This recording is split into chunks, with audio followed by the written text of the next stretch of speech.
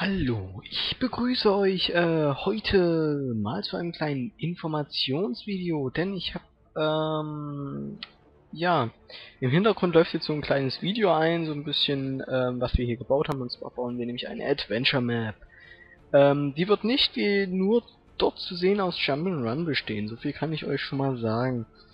Und, ähm, was mich freuen würde, wenn ihr einfach vielleicht ein paar Ideen äußert. Sie sollten ein bisschen im Mittelalter-Stil äh, sein und es wird auf jeden Fall nicht alles sehr einfach werden. Das sieht man ja allein hier hinten schon, wie, ähm, wie selten man es wirklich schafft, da hochzukommen. Mit der richtigen Technik und ohne Fraps schafft man es natürlich leicht, aber ähm, es ist einfach so ein bisschen jetzt überlegt, ähm, was man machen könnte und ja, wie gesagt, es wäre schön, wenn ihr ein paar Informationen, ähm, also nicht Informationen, sondern ähm, ein paar äh, Ideen hättet, wie wir jetzt zum Beispiel die Welt neu machen könnten. Ich werde auch ähm, mal ein kurzes Video hochladen, ähm, wo man sehen wird, dass ähm, die Map aus weit mehr besteht als aus diesem kleinen Jump'n'Run hier, wo man auf den Button drückt und sich Pisten aus der Wand fahren.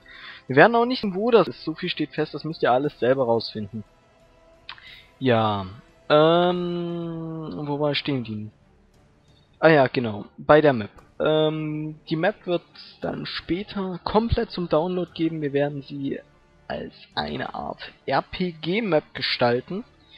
Das heißt, ähm, also ein Roleplay ähm, Adventure, wo ihr Kisten finden könnt und wir werden es komplett auf der Minecraft Pre-Release machen und dann später auf der Minecraft 1.3, damit ihr ähm, dann schon die neuen Features nutzen könnt, wie zum Beispiel das Handeln mit den NPCs, dass die NPCs schon abgestimmt sind, bestimmte Handelsformen haben.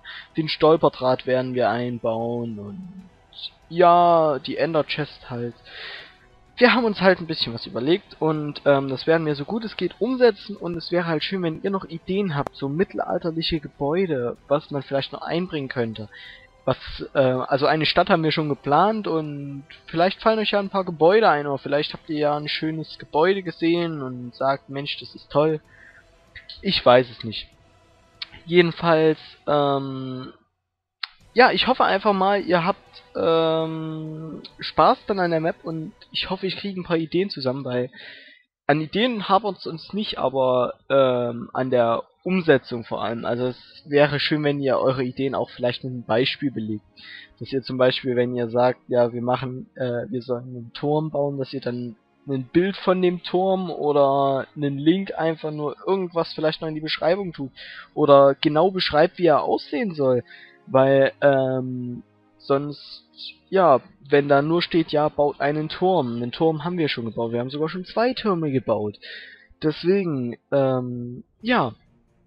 Man hat ja jetzt ja im Hintergrund gesehen, jetzt wurde es geschafft und, ähm, ja, deswegen beende ich jetzt auch die Aufnahme und sage einfach mal Tschüss. Ich hoffe, ihr habt ähm, dann Spaß an der Adventure Map und ich krieg noch ein paar Ideen zusammen. Bis dahin, äh, tschüss.